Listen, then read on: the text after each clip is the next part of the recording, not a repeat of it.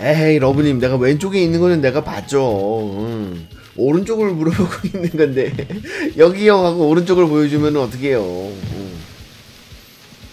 내가 내가 그거 보고 봤는데.